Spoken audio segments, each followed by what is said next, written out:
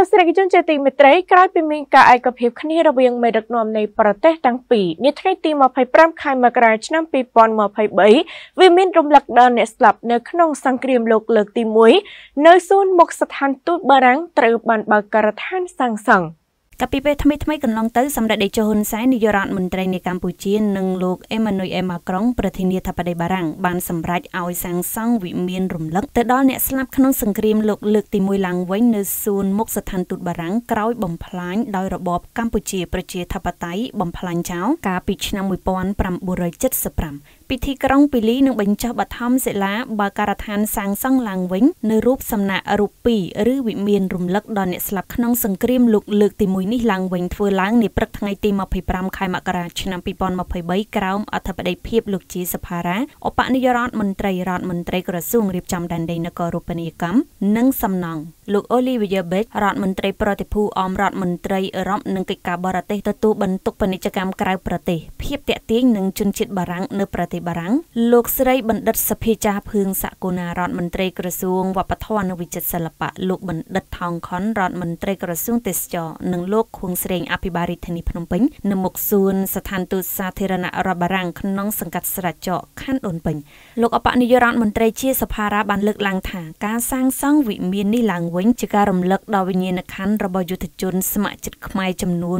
151នាក់ដែលបានពលីជីវិតក្នុងសង្គ្រាមលោកចន្លោះពីឆ្នាំ1916 1916ដល់ឆ្នាំ1918នៅប្រទេសបារាំងបន្ថែមពីលើនេះសំណង់វិមានដែលនឹងលេចចេញជារូបរាងឡើងនាពេលខាងមុខជាការបង្ហាញនៅចំណងមិត្តភាពមេត្រីភាពសាមគ្គីភាពនិងកិច្ចសហប្រតិបត្តិការជាប្រវត្តិសាស្ត្ររវាងកម្ពុជានិងបារាំងផងដែរលោកបន្តថាវិមានរំលឹកដល់អ្នកដែលទទួលអនិច្ចកម្មក្នុងសង្គ្រាមលោកលើកទី1ពីឆ្នាំ1914ដល់ឆ្នាំ1918ជាស្តុបអនុស្សាវរីយ៍រវាងទាហានខ្មែរនិងបារាំងដែលបានពលីជីវិតក្នុងសង្គ្រាមលោកលើកទី1អាញាធរបារាំងនិងអិសរាជជនខ្មែរបានព្រមព្រៀងគ្នាសាងសង់ស្ថបនេះឡើងនៅវិញមួយទល់មុខស្ថានទូតបារាំងខាងត្បូងរង្វង់មូលគោស្ពានជ្រោយចង្វាកាលពីឆ្នាំ1925គឺដើម្បីរំលឹកដល់ជ័យជំនះសង្គ្រាមលោកលើកទី1របស់បារាំងក្នុងការដណ្ដើមយកជោគជ័យលើអាល្លឺម៉ង់និងរំលឹកដល់ពលិកម្មរបស់កម្ពុជាក្នុងការបញ្ជូនកងកម្លាំងទៅជួយច្បាំងបារាំងអំឡុងសង្គ្រាមលោកលើកទី1លោកបានបញ្ជាក់ថាកាលពីថ្ងៃទី10ខែធ្នូឆ្នាំ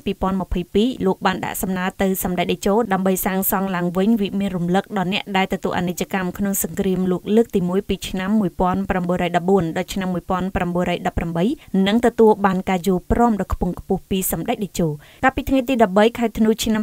2022សម្ដេចតេជោបានថ្លែងនៅចំពោះមុខលោក Emmanuel Macron ប្រធានាធិបតីបារាំងក្នុងជំនួបឯវិមានរដ្ឋាភិបាលបារាំង Elysee នៅប្រទេសបារាំងសម្ដេចតេជោបានអនុញ្ញាតឲ្យមានការសាងសង់វិមាននេះឡើងវិញរាជរដ្ឋាភិបាលក្រោមការដឹកនាំរបស់សម្ដេចតេជោហ៊ុនសែនបានផ្ដួចផ្ដើមគំនិតក្នុងការសាងសង់វិមាននេះឡើងវិញដើម្បីជាការរំលឹកដល់ពលិកម្មរបស់កម្ពុជាក្នុងការបញ្ជូនកងទ័ពទៅជួយច្បាំងបារាំងនិងរំលឹកដល់ជ័យជំនះសង្គ្រាមលោកលើកទី1របស់បារាំងដែលជាការបង្ហាញពីការយកចិត្តទុកដាក់របស់រាជរដ្ឋាភិបាលកម្ពុជា